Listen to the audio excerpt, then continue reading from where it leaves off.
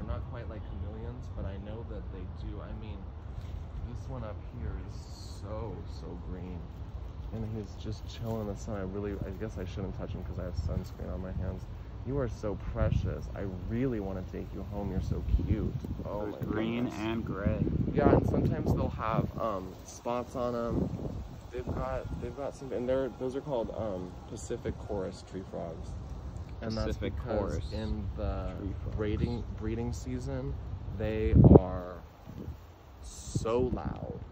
Ooh. Like I built a pond. what do they sound like? Um, uh, no, that's more of like a bullfrog. They're like higher pitched. Cheep, cheep, Um, cheep, cheep, cheep. I can't quite imitate it. If you listen, when I walked in over here, I heard them over here in the garden, which is Mm. the wrong time of year for them to be making noise. But they might be confused for, because the drought or the sprinklers or